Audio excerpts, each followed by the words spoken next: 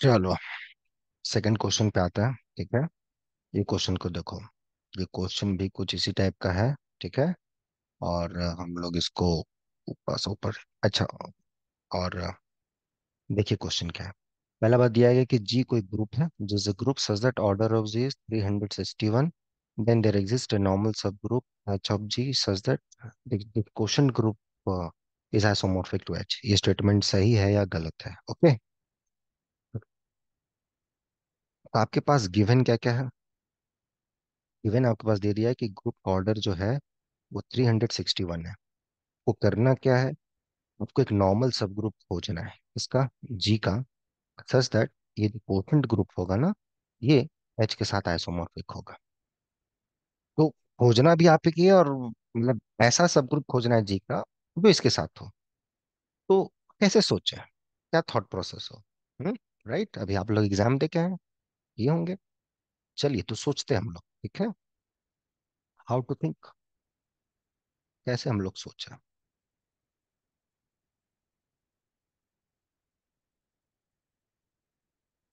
देखो, पहली बात तो जो ग्रुप दिया ना ये बदमाश सा, ये जो आपको बदमाश वाला देखिए, ये बदमाश नंबर ये सब नंबर को देख के कुछ फील आना चाहिए। थ्री हंड्रेड सिक्सटी वन याद है बचपन में आपको कभी हम लोग तो हिंदी में पहाड़ा बोलते थे? है ना? इंग्लिश में जो भी आप बोल रहे हैं, टेबल ये, वो अननोन का जो बोल रहे हैं, बोल। थ्री सिक्सटी वन, कुछ नज़र आ रहा है? किसी नंबर का आपको लगता है? स्क्वायर है, क्यूब है, कुछ दिख रहा है आपको? थ्री सिक्सटी वन हो गया, है ना? टू फिफ्टी सिक्स, ये सब चीज़ें कुछ ऐसे हैं जो तो रिकॉल होना चाहिए quickly look at this this number is nineteen का स्क्वायर कुछ दिखा आपको? कि हाँ ये नाइनटीन का स्क्वायर है राइट ये क्लिक होना चाहिए आइडिया ऐसे सोचना है आपको। ठीक है? इसी का गेम था, बस, गेम ओवर। ये ये आप सोचे, तुरंत क्वेश्चन बना। अब ये सोचने में अगर आपका दो मिनट लग गया, तीन मिनट लग गया तो फिर दिक्कत हो जाएगी। सब क्वेश्चन एक सेकंड में दिखा हाँ आंसर गेम, खत्म गेम वहीं पर। इस टाइप के ग्रुप के बारे में आपने पूरा स्टडी करा है। ये किस टाइप का ग्रुप हो गया? पी स्क्वायर का ग्रुप। इसका मतलब जी इज़ अबेलियन ये हो गया सोचना, ऐसा। करेक्ट है? तो ये अब क्यों हुआ गबेलियन कैसे हो गया भाई साहब? जादू तो है नहीं मैथमेटिक्स में, या तो प्रूफ चलता है? हाउ? ठीक है, इसको प्रूफ कीजिएगा आप, ठीक है? मेरे लिए मत कीजिएगा, अपने लिए कीजिएगा। आप करेंगे, आपको फ़ायदा होगा, आपका सोचने का और इंटरेस्ट जगेगा मैथ में, और अच्छा लगेगा, अंदर से बहुत अच्छा लगेगा, जब आप इस टाइप की चीज़ों को सोचेंगे तो। ठीक है तो ग्रुप अबेलियन हो गया। अब 19 जो है, वो डिवाइड कर रहे हैं। ऑर्डर ऑफ़ जी को, है ना? एक सब ग्रुप मिल जाएगा। जी का? सच दैट जिसका ऑर्डर 19 होगा। अब ये भी क्यों होगा?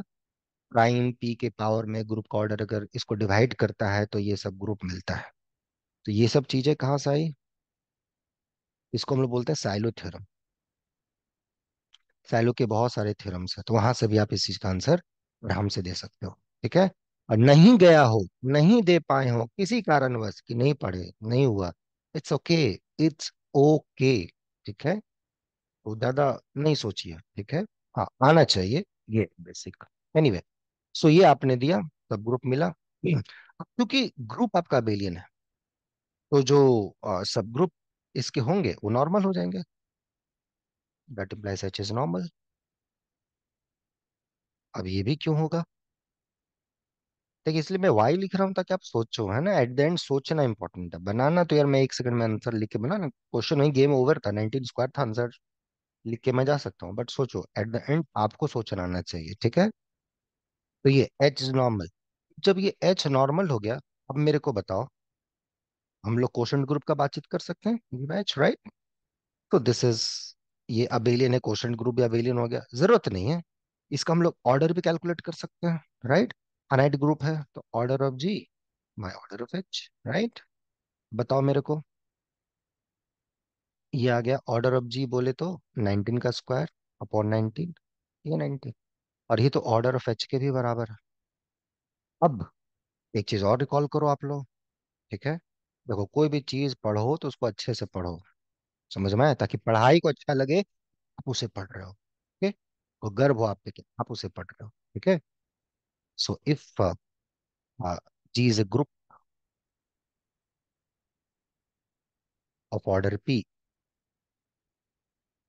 then g is isomorphic to zp मैंने any group of order p is cyclic. ठीक है? बेसिकली ये मैं बोलना चाह रहा हूँ। तो यहाँ पर here यहाँ पर क्या आ रहा है? Here जो g बाय h है ये जो क्वोशंट ग्रुप है इसका भी ऑर्डर 19 है। और जो उधर एच आ रहा है ये भी 19 है। दोनों सेम ऑर्डर के और ये प्राइम नंबर है। तो ये दोनों के दोनों साइक्लिक ग्रुप हो गए और प्राइम ऑर्डर सेम प्राइम इसका मतलब ये जो जी है, ये आइसोमॉर्फिक हो गया जी क्वेश्चन नॉट सॉरी क्या यार, मैं भी क्या क्या लिख दे रहा हूँ?